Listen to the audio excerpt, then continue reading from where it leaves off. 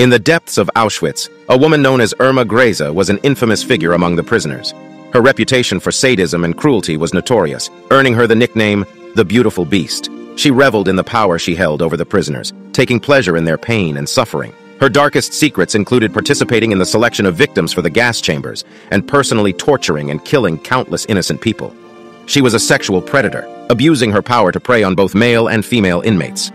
But Irma Grese's reign of terror would come to an end. After the war, she was tried and convicted for her crimes, including murder, and was executed by hanging in 1945 at the age of 22. Her story is a chilling reminder of the atrocities committed during the Holocaust and the dangers of unchecked power and cruelty.